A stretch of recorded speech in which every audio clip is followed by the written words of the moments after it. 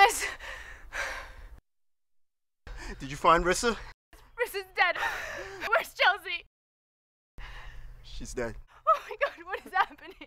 Look, I don't know, but I ain't sticking around to find out. I'm out of here. No, no, no, you can't go out there by yourself. Well, I ain't staying here. The dude is obviously gonna come back. Madame, I think we should get out of here. No, you guys, we have to wait and tell Cole what we found. And wait for that maniac to come back and butcher us? No thanks. He knows those woods better than all of us, all right? You want to run around there and have him chase you? Look, we wouldn't even be here if it wasn't for you, all right? I said we go now and we take our chances. You don't think I know I'm responsible? Chelsea and Rissa were my friends too, you asshole! Right, right! We're not gonna get anything done if we keep fighting with each other.